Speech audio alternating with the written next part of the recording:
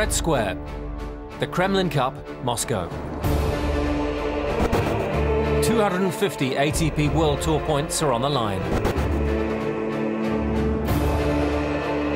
The country's first pro international tennis tournament is celebrating its 20th anniversary.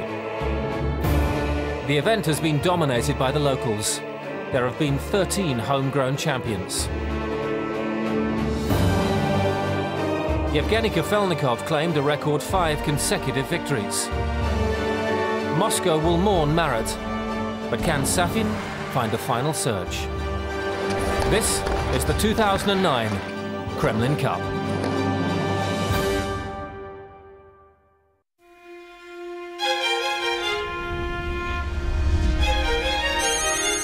Home rule has long defined events in Moscow. The last foreigner to triumph here was Taylor Dent in 2003.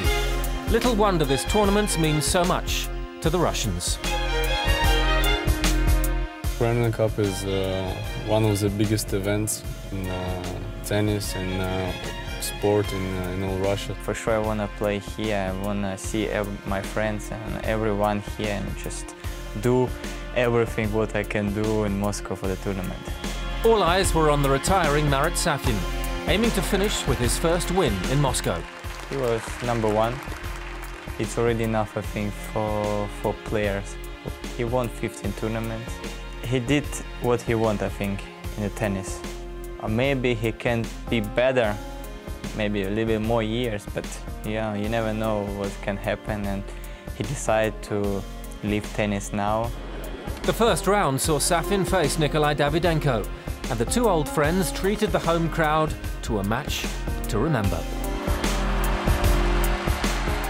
It was difficult, you know, coming from China to Russia and, uh, you know, play against Marat Safin, you know, first round, and I really don't have any time to prepare here, and just three sets was good match, but not good enough, you know, to, to beat Safin. Next up for Safin, Evgeny Korolev. In the last couple of months we were really good. I played really well.